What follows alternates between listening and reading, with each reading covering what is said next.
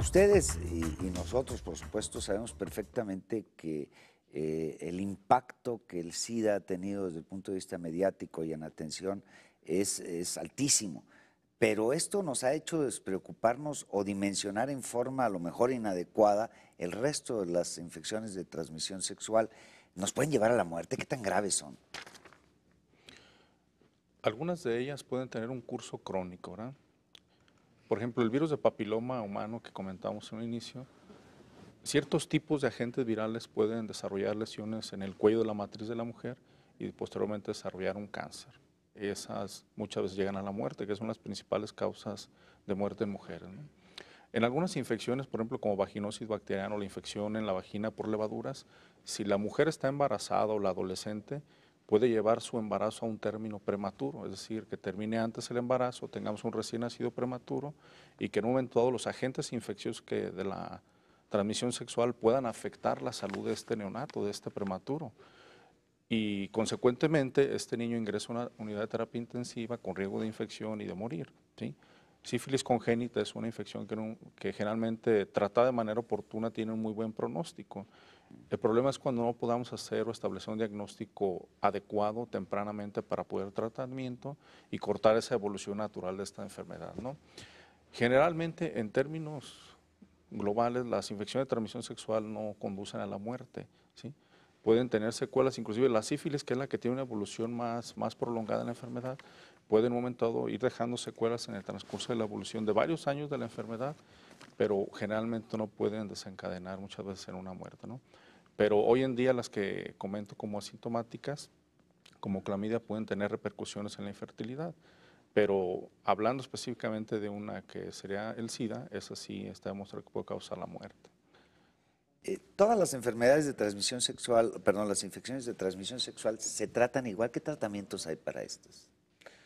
Dependiendo de, de, de, la, de las infecciones es, es, varían mucho, ¿no? Pero yo quisiera apuntar que no nada más las infecciones de transmisión sexual, esos los órganos sexuales inclusive. Ah. Puede haber otras, otras infecciones y vemos, por ejemplo, infecciones de la laringe por virus del papiloma humano.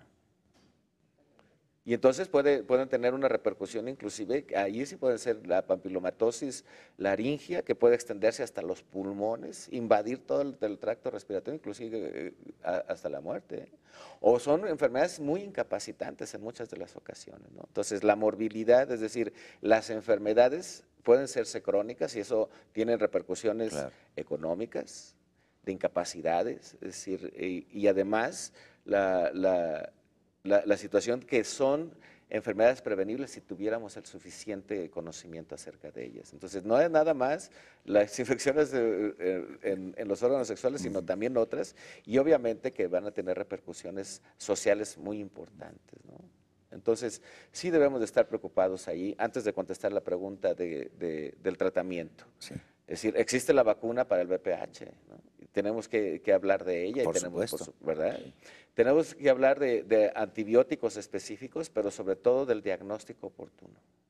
¿verdad? Prevención, diagnóstico oportuno, tratamiento eficaz en, en, en los, en, cada una de las enfermedades. ¿Son caros los tratamientos? Son muy sencillos, generalmente son tratamientos cortos, inclusive hay algunos que son de dosis única, ¿sí? de una vez al día y, y es suficiente, ¿no? Son generalmente tratamientos que no son costosos, algunos de ellos pueden durar hasta 5 o 7 días dependiendo de la enfermedad que estemos tratando, pero no son, son accesibles y son baratos generalmente el tipo de tratamientos.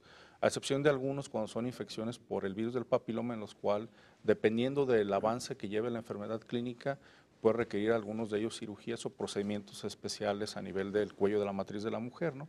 Que esos ya serían más costosos o de un equipo médico especializado en estos tratamientos, pero la mayoría de las infecciones de transmisión sexual son de diagnóstico sencillo, con pruebas de diagnóstico rápido, inclusive que estamos realizando en el Hospital Civil, ¿sí? donde podemos tomar una muestra de ese, de ese moquito que pueda salir por la vagina de la mujer o del moco que salga por el pene en el varón o de la lesión que podamos observar en la piel inclusive y hacer el diagnóstico en prácticamente algunas horas y dar un tratamiento dirigido y específico a cada paciente con resultados eh, muy prometedores hacia la mejoría. y en todos los casos, como que la mayoría de las infecciones, enfermedades, etcétera, eh, la prevención es lo más importante. Vamos a este espacio comercial y continuamos aquí en TV Médica. No se vayan.